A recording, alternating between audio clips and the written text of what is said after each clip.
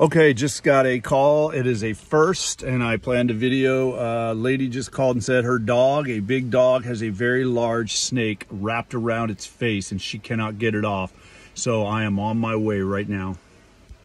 This was the photo that was text to me, followed up by a very panicked call.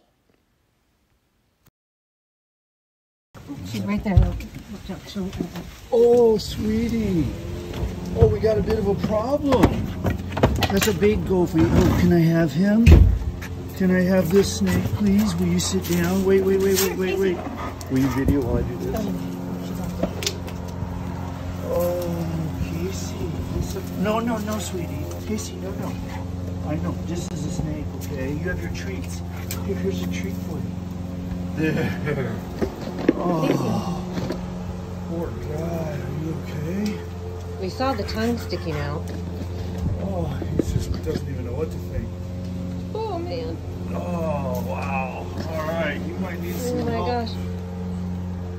You got a slobbery dog bite, but it's not too bad.